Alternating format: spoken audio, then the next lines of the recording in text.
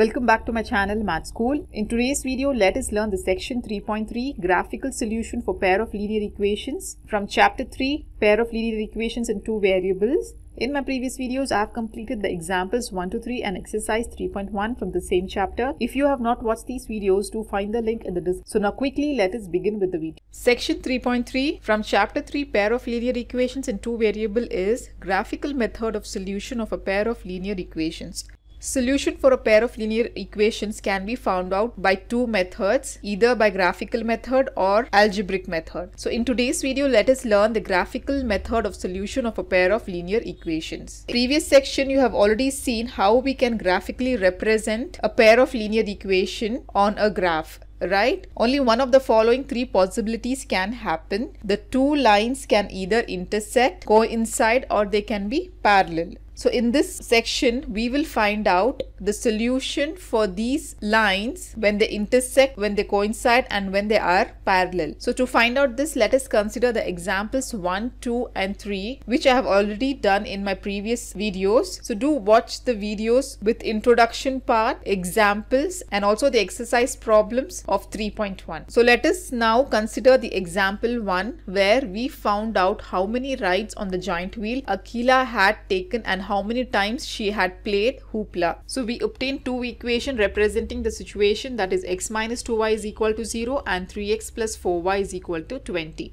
So using these two equations, we obtained the tables and plotted the graph in this manner. And here these two equations lines intersected each other at a point 4 comma 2. So therefore as the lines intersect at the point 4 comma 2 so 4 comma 2 forms the solution for the these two given equation. So now let us substitute the value 4 comma 2 in the given equation and verify algebraically. 4 comma 2 represents x comma y. Therefore x value is equal to 4 and y value is equal to 2. So substituting in the equation x minus 2y is equal to 0. x value as 4 minus 2 into y as 2 is equal to 0. So 4 minus 2 into 2 is again 4. So here 4 minus 4 is equal to 0, right? So left hand side is equal to right hand side. Therefore, the point 4 comma 2 satisfies the given equation and hence it is verified algebraically. Similarly, let us substitute the value of x and y in the equation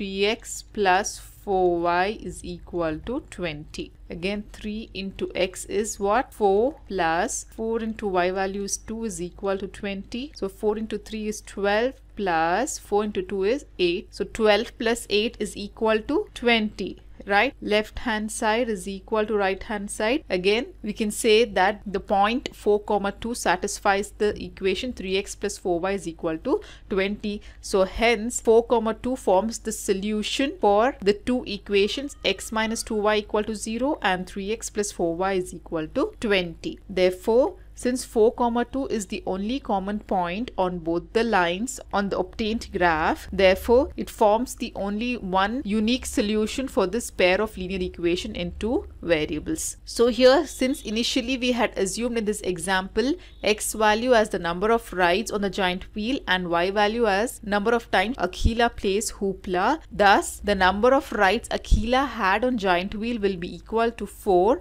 and the number of times she played hoopla is equal to y that is nothing but 2. Okay, so this is how we obtain the solution for example number 1. Now similarly, let us consider the situation in example 2 where we had to find out the cost of each pencil and each eraser. Here again we had assumed the cost of pencil to be x rupees and the cost of eraser to be y rupees. So we obtain equations from the situations given as 2x plus 3y is equal to 9 and 4x plus 6y is equal to 18.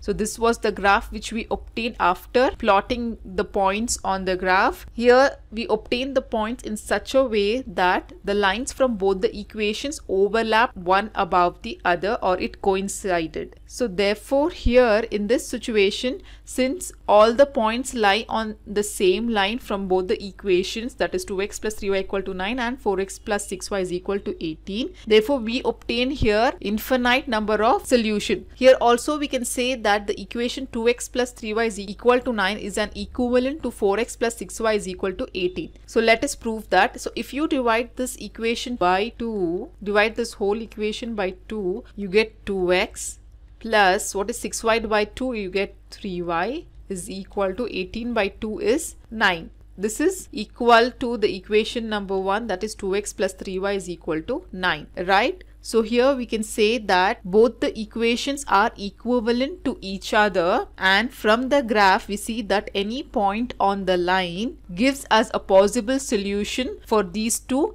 equations. So for example, let us consider one point from the lines that is 3 comma 1. Here x value will be equal to 3 and y value is equal to 1. So let us substitute this x equal to 3 and y equal to 1 into x plus 3y is equal to 9. So substituting we get 2 into x is 3 plus 3 into y value is 1. So here 3 2s are 6 plus 3 into 1 is 3. So 6 plus 3 is equal to 9, right? So left hand side is equal to right hand side. So the point 3 comma 1 satisfies the equation 2x plus 3y is equal to 9 and hence we can verify this algebraically. So likewise if you consider any point on the line that point will satisfy the equation 2x plus 3y is equal to 9 therefore here we can say that since all the points satisfies the equation the cost of pencil can be rupees 3 and cost of eraser can be rupee 1 or if you consider the point 1.5 comma 2 the cost of again here pencil can be 1.5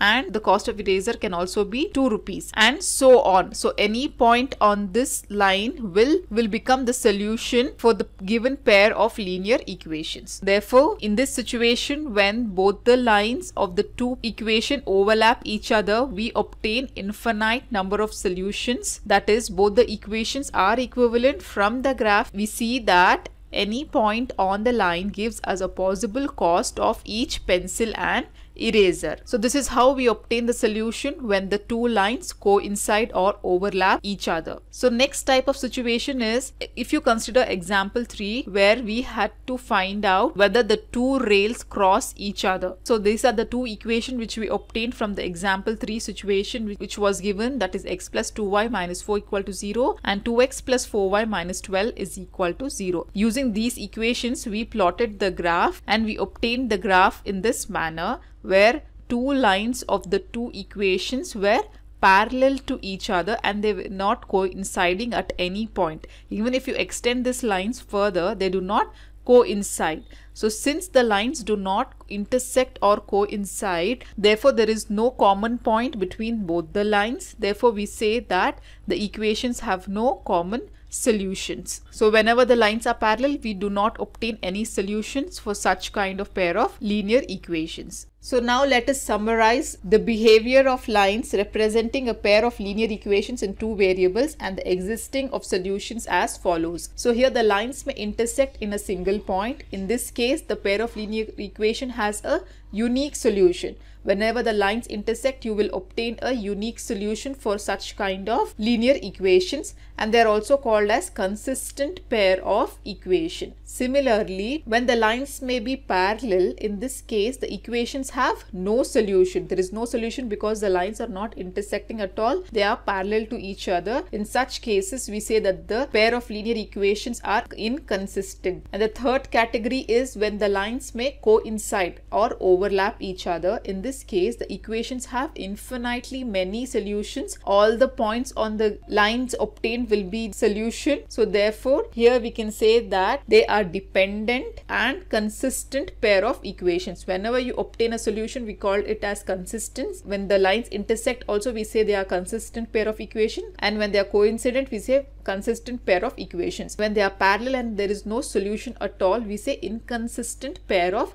equations. So here in case of when the lines coincide, since they have n number of solutions, that is infinitely many solutions, therefore we say that they are dependent pair of equations right? So this is the whole summary for solution for a pair of linear equations which you can obtain. The general form of pair of linear equation in two variables x and y is given by a1x plus b1y plus c1 equal to 0 and a2x plus b2y plus c2 equal to 0 where a1 b1 c1 a2 b2 c2 are the real numbers in the two given linear equations. Okay, this we have already discussed in our previous videos. So now using these coefficients a1, b1, c1, a2, b2, c2, we can also determine whether given two equations have a solution that is whether they intersect, they are parallel or they are coincident when they are plotted on the graph. So this is a table given considering the three example which we saw earlier so here if you observe, you have to take the ratios of A1 by A2, B1 by B2, C1 by C2 and compare. If the ratio A1 by A2 is not equal to B1 by B2, the lines will be intersecting graphically and hence they will have a unique solution. So from example 1, let us check that. Equations given here are x minus 2y equal to 0 and 3x plus 4y minus 20 equal to 0. So here a1 value is 1, b1 is equal to minus 2 and c1 is 0. Similarly, a2 value is 3, b2 is equal to 4 and c2 is equal to minus 20. Now let us check the ratios here. So a1 by a2 is equal to 1 by 3 and b1 by b2 is equal to minus 2 by 4 so if you cancel you get minus 1 by 2 so here if you observe a1 by a2 is not equal to b1 by b2 right? A1 by a2 is not equal to b1 by b2 so in such condition the two lines will be intersecting each other and hence we will obtain a common point at the intersection and a unique solution right? So this is how we can find out algebraically whether the two lines are coinciding intersecting or if they are parallel. Similarly if you observe from the example 2 here the ratio a1 by a2 is equal to b1 by b2 and that is equal to c1 by c2 when this condition happens then the lines will be coincident and since the lines are coincident we can obtain infinite number of solutions. Right? Let me show you here from example 2 we have the equation 2x plus 3y minus 9 equal to 0 and 4x plus 6y minus 18 equal to 0 so here we obtain the coefficients a1 value is 2 b1 is 3 and c1 is equal to minus 9 and similarly a2 is 4 b2 is 6 and C2 is equal to minus 80. A1 by A2 is equal to 2 by 4 that is again 1 by 2 after cancelling. Then B1 by B2 is here 3 by 6 again it is 1 by 2 after cancellation then c1 by c2 is minus 9 by minus 18 so minus and minus will get cancelled and we obtain 9 1 times 9 2 times. So again it is 1 by 2 so here we observe that all the ratios are equal. That is 1 by 2 1 by 2 and 1 by 2 so a1 by a2 is equal to b1 by b2 and that is equal to c1 by c2 so therefore here in such situation the lines will be coincident and we can obtain the infinite number of solution for such lines. Similarly example 3 a1 by a is equal to b1 by b2 but that is not equal to c1 by c2. In such situation the lines will be parallel. So let us find out. So if you consider example number 3 equations that is x plus 2y minus 4 equal to 0 and 2x plus 4y minus 12 is equal to 0. Here the a1 value is 1, b1 is 2 and c1 is equal to minus 4. Similarly, a2 is 2, b2 is 4 and c2 is equal to minus 12. So let us find out a1 by a2 is equal to 1 by 2, b1 by b2 is 2 by 4 which is again 1 by 2 and c1 by c2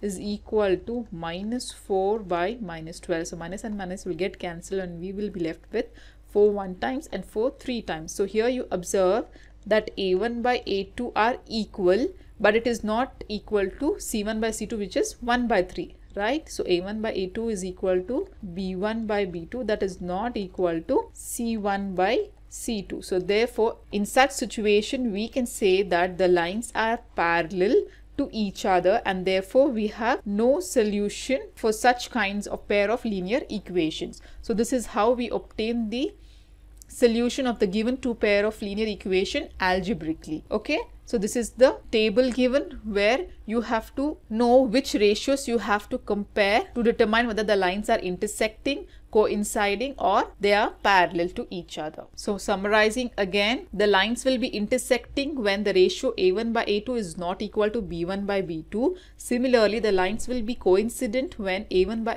A2 equal to B1 by B2 and that is equal to C1 by C2. And when the lines will be parallel, the lines will be parallel when A1 by A2 is equal to B1 by B2 and that will not be equal to C1 by C2. So this is how we can find whether the lines are intersecting, they are coincident or if they are parallel to each other. So hopefully you have understood the introduction part. In my next video, I'll be solving example 4 from chapter 3 pair of linear equations in two variables. So till then do like my video, subscribe to my channel and don't forget to hit the bell button below to get the latest updates of my videos as I'll be completing the whole syllabus for class 10th SSLC NCERT math. And also do watch the related videos of chapter 3 pair of linear linear equations in two variables shown on the screen. Thank you.